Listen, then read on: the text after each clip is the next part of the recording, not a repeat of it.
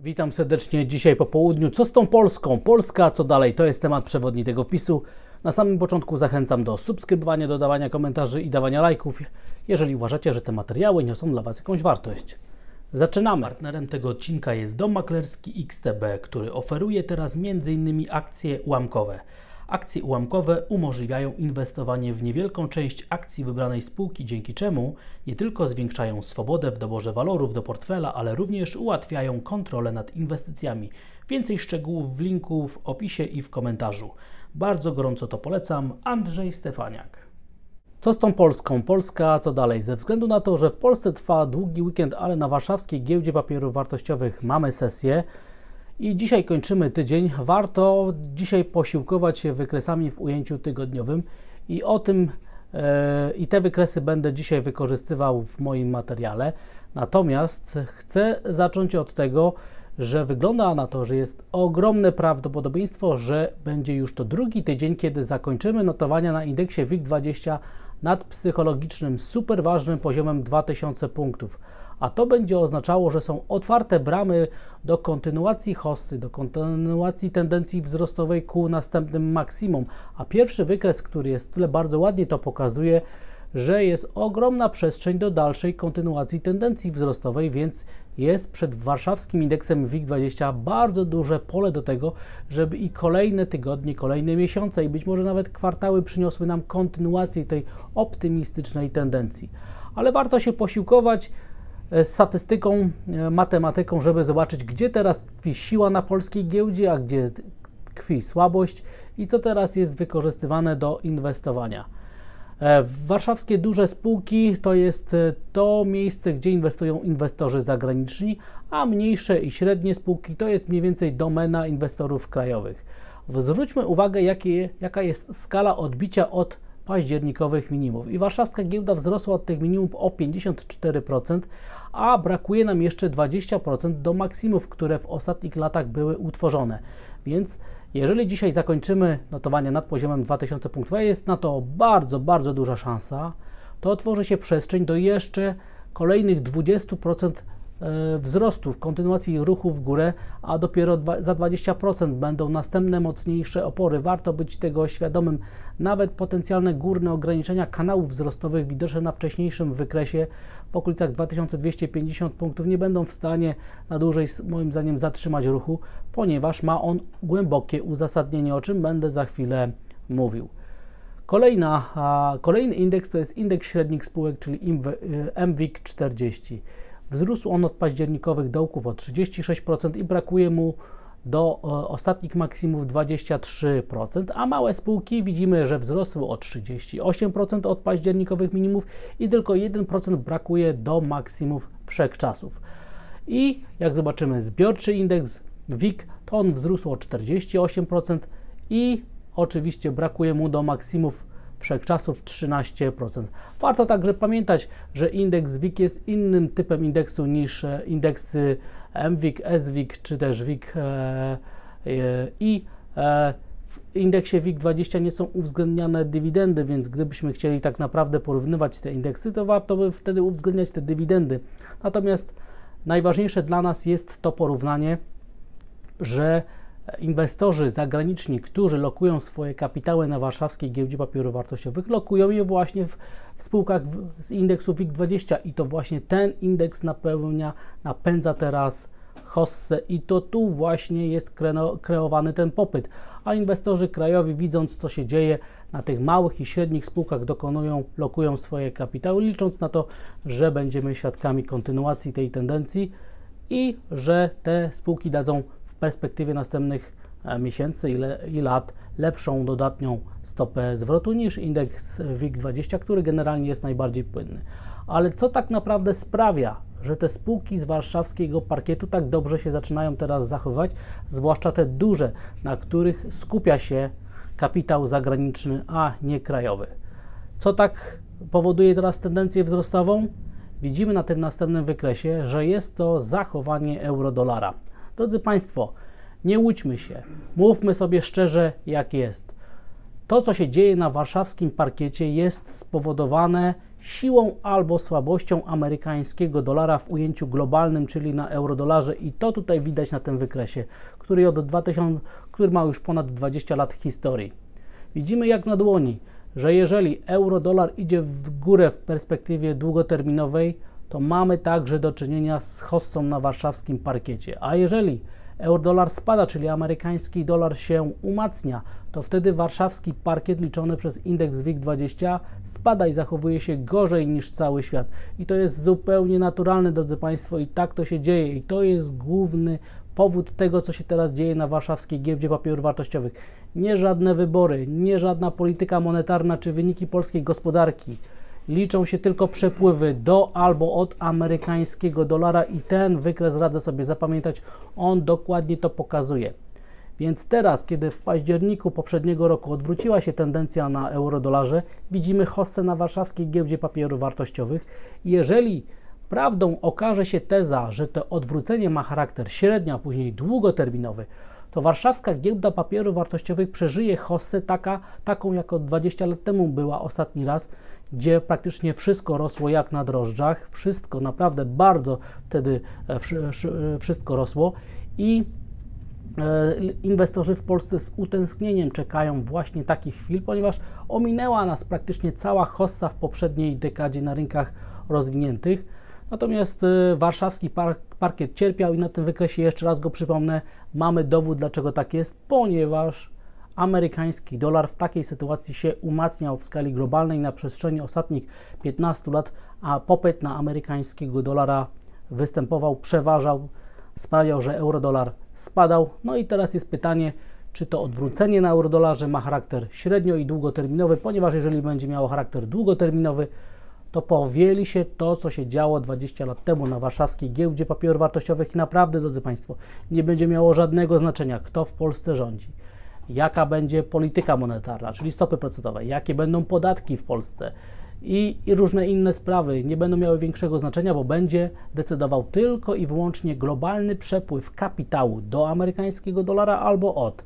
My na warszawskim parkiecie czekamy z utęsknieniem na globalne osłabienie amerykańskiego dolara, bo wtedy warszawska giełda papierów wartościowych rośnie, rośnie jak na drożdżach, rosną polskie aktywa i teraz przechodzimy już do tych innych polskich aktywów, czyli przede wszystkim do złotego, bo to widzimy teraz jak na dłoni, że to odwrócenie na euro-dolarze powoduje także umocnienie krajowej waluty jest ona pchana bardzo mocno, cały czas kapitał tutaj do Polski napływa.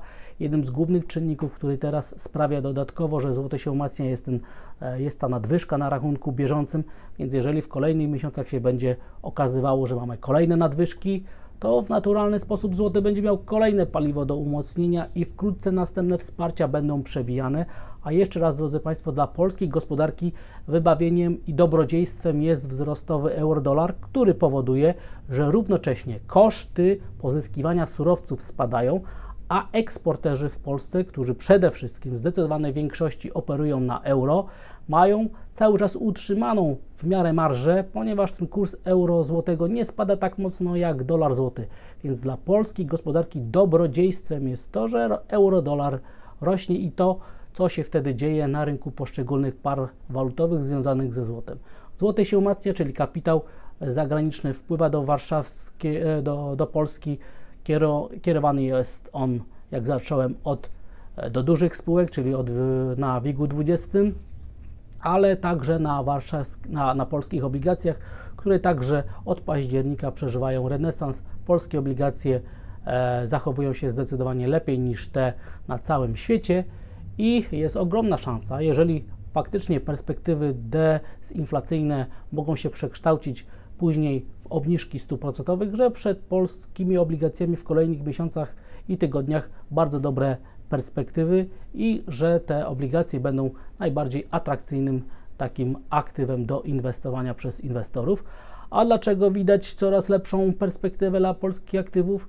Ponieważ premia za ryzyko polska liczona spreadem między obligacjami polskimi a niemieckimi widzimy, że jest najniższa od bardzo, bardzo długiego czasu i także ta sama premia za ryzyko liczona do amerykańskich obligacji jest na poziomach bardzo, bardzo niskich względem tych ekstremalnych, które były w ostatnich miesiącach, więc widzimy, jak bardzo zwęża się premia za ryzyko dla naszego kraju, jak geopolityka teraz traci na znaczeniu, ponieważ euro-dolar wymusza przepływ kapitału do rynków emerging markets, a Warszawa, czyli Polska, Polska jest jednym z tych beneficjentów tego, co się dzieje w skali globalnej. No i po prostu obserwujemy to teraz na naszych oczach. Jest ogromnie prawdopodobne, że będzie to kontynuowane.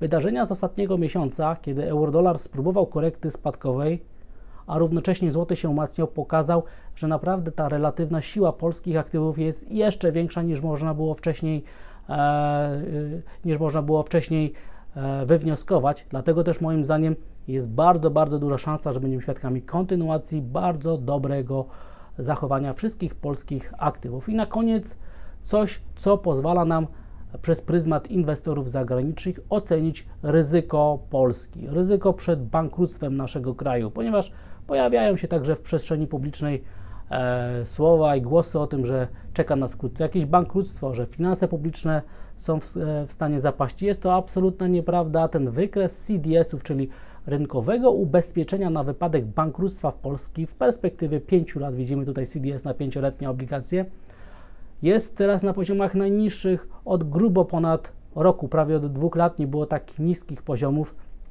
I widzimy, że naprawdę inwestorzy zagraniczni, którzy swoimi milionami, miliardami dolarów, euro obstawiają różnego rodzaju scenariusze negatywne, nie obawiają się o bankructwo, o ryzyko bankructwa naszego kraju, stąd też te CDS-y spadają i widzimy, posługując się analogią do tego, co się działo 10 czy też 15 lat temu, kiedy, był, e, kiedy był, były takie bardzo wysokie wyskoki tych, tych ubezpieczeń, że to właśnie 10 15 lat temu ryzyko Polski było 3 e, czterokrotnie wyższe niż jest teraz, a mając po, mając na uwadze poziomy ekstremalne, widzimy jak bardzo teraz na przestrzeni ostatnich 10 lat zwiększyło się bezpieczeństwo naszego kraju, bezpieczeństwo finansowe, gospodarcze i inwestorzy zagraniczni to widzą, dlatego też te ubezpieczenia na wypadek bankructwa w Polski w perspektywie 5 lat są na tak niskich poziomach. Drodzy Państwo, warto sobie to ten wykres zapamiętać, że ubezpieczenia rynkowe na wypadek bankructwa to są CDS-y i samemu sobie sprawdzać, monitorować,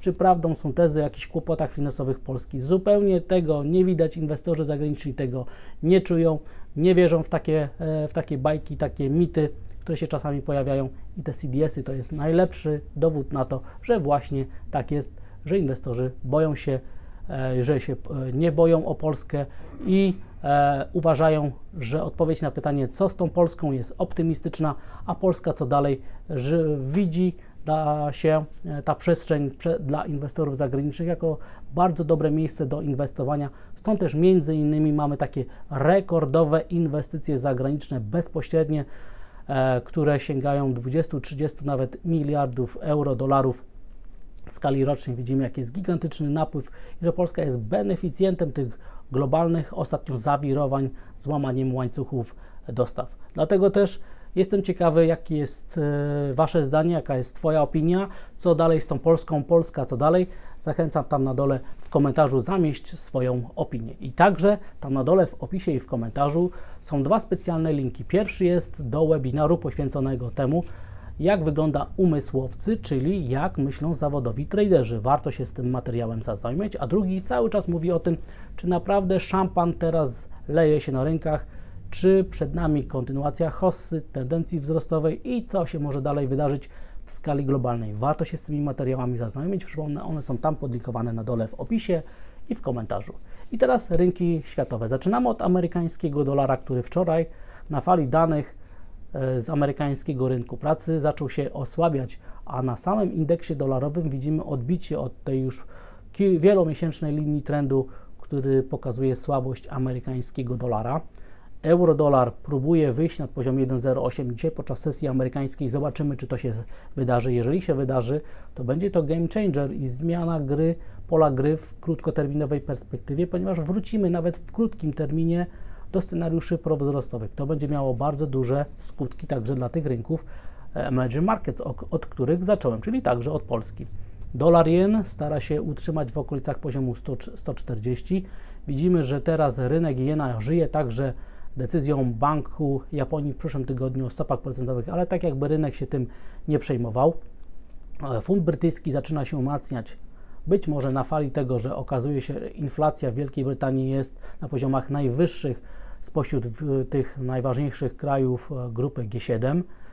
Być może stopy procentowe pójdą jeszcze bardzo mocno w górę, stąd też umocnienie funta brytyjskiego. Obserwujemy także wielką zmienność cały czas na lirze tureckiej. No i zobaczymy, co się tutaj będzie dalej wydarzyło, czy będzie dalej osłabianie tureckiej waluty i amerykańskie obligacje, które tak w sposób naturalny teraz muszą także reagować na osiągnięcie porozumienia w sprawie kryzysu zadłużenia. Amerykanie teraz e, odtwarzają e, swoje e, odtwarzają swój kapitał, który jest możliwy do tego, żeby finansować bieżące potrzeby i być może rynek traktuje to jako okazję, żeby wyciągnąć te rentowności wysoko i żeby, żeby móc kupić obligacje po jak najbardziej korzystnych cenach. Ciekawy raport znalazłem, który pokazuje, że 63% inwestorów spodziewa się w perspektywie 12 miesięcy recesji w amerykańskiej gospodarce. W przyszłym tygodniu mamy Fed i widzimy na następnym wykresie, jak tutaj, jakie są prognozy na najbliższe kwartały i lata dla najważniejszych komponentów makroekonomicznych. I zobaczymy także, co się wydarzy na Wall Street, czy indeks Standard Poor's przekroczy poziom 4300 punktów, ponieważ to jest miejsce, przypomnę, gdzie mamy E, od, gdzie, po, którego pokonanie odfajkuje nam już techniczną hossę na tym indeksie, czyli 20% odbicie od październikowego minimum. I jeżeli tak się stanie, no to inwestorzy mogą spróbować wyciskać te indeksy giełdowe dalej w górę. Natomiast w, e, jeżeli mamy do czynienia jednak z jakimś odbiciem tylko w beście, która się rok temu zaczęła, to w takiej sytuacji ten, te odbicie 20% może zatrzymać i doprowadzić do korekty. Dlatego też poziom 4300 punktów ma bardzo duże znaczenie i zobaczymy, co się dzisiaj wydarzy. W kolejnym wykresie widzimy, jak indeks Standard Poor's zachowywał się podczas ostatnich recesji i co jest bardzo interesujące, e, ta ostatnia Bessa, czyli spadek w poprzednim roku o ponad 20%, nie jest tutaj odzwierciedlony ponieważ amerykańska gospodarka nie weszła wtedy w recesję. No i pytanie jest, czy na amerykańska gospodarka jednak dyskontuje recesję, ponieważ jeżeli tak się stanie, to nawrót tendencji spadkowej powinien się jakiś pojawić. Dlatego też te wydarzenia, które teraz się dzieją na indeksie Standard Poor's mają takie duże znaczenie. Widzimy, że e, indeks Standard Poor's, który jest wyceniany na podstawie przyszłych zysków i inflacji, nie osiągnął jeszcze swojego dna i ten argument może być także interesujący dla tych wszystkich, którzy liczą na tendencję spadkową. Natomiast na następnym wykresie widzimy, że tak jakby już rozpoczęła się rotacja sektorowa inwestorów i są napełniane portfele e, w te akcje, które mają dać lepiej zarobić podczas tendencji wzrostowej. Więc zobaczymy, czy taka strategia jest dla nich korzystna. Wzrost euro-dolara będzie także relatywnie korzystny dla indeksu DAX, więc jeżeli tendencja wzrostowa e, na eurodolarze da wyjście nad poziom 1,08, to spodziewam się trwałego wyjścia nad poziom 16 tysięcy punktów na DAXie. No i europejskie spółki także relatywnie powinny się lepiej zachowywać niż te w Stanach Zjednoczonych. Surowce, Amery czyli amerykański dolar i rentowności sprawiają, że od razu patrzymy na zachowanie ceny złota, jako że amerykański dolar się osłabia, a rentowności raczej są pod presją na to, żeby były kupowane, więc złoto rośnie, rośnie także srebro, więc y, raczej jest y, większa szansa na kontynuację tendencji wzrostowej.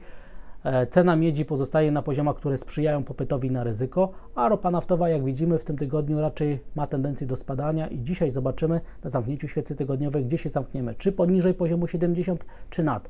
Jeżeli nad, to w takiej sytuacji E, ta konsolidacja, którą teraz obserwujemy, raczej będzie kontynuowana, a jeżeli poniżej, to może być to zły wiastun dla indeksów giełdowych w, krótkiej, e, w krótkim terminie. Natomiast wykres pozycjonowania dużych graczy pokazuje, jak duży jest teraz pesymizm, jak dużo jest teraz relatywnie shortów i że inwestorzy raczej nastawiają się na spadki niż na wzrosty, e, mając na uwadze te pozycjonowanie na kontraktach e, futures. I już na sam koniec Bitcoin. Bitcoin który jak widzimy od miesiąca konsoliduje się dokładnie na średniej 200-sesyjnej oraz, oraz w okolicach linii szyi odwróconej formacji RGR, więc wydarzenia w okolicach 25-26 tysięcy dolarów są tak ważne, chociaż od miesiąca nie ma tutaj większej zmienności.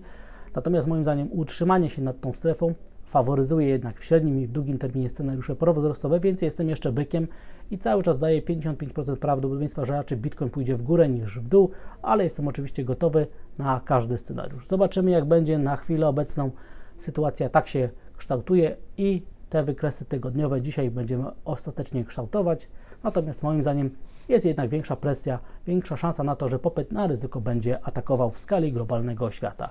I jeszcze raz w tym miejscu zachęcam, drodzy Państwo, do tych specjalnych materiałów, które są tam podlinkowane w opisie i w komentarzu e, o umyśle łowcy, czyli jak myślą zawodowi traderzy. Warto się zapisać na ten webinar i o tym, czy faktycznie szampan się dzieje, leje się na rynkach i co może się wydarzyć na indeksach giełdowych, na rynku ryzyka w najbliższym czasie, czy czasem nie są czy nie jest czasem większe prawdopodobieństwo jakiegoś zwrotu korekty spadkowej. Warto się na te materiały e, zapisać, podlinkować sobie i je obserwować. Tam na dole są dostępne w opisie i w komentarzu. Dziękuję za odsłuchanie tego materiału. Zachęcam do subskrybowania, dodawania komentarzy i dawania lajków, jeżeli uważacie, że te materiały niosą dla Was jakąś wartość. I widzimy się i słyszymy w przyszłym tygodniu, w poniedziałek rano. Do zobaczenia. Dzisiaj życzę dużej, dodatniej stopy zwrotu i udanego weekendu. Pozdrawiam. Jeśli uważasz, że moja praca ma sens i jakoś Ci pomogła, to pod filmem kliknij w podziękuj, a potem kup i wyślij mi premię. Bardzo dziękuję za docenienie. Andrzej Stefaniak.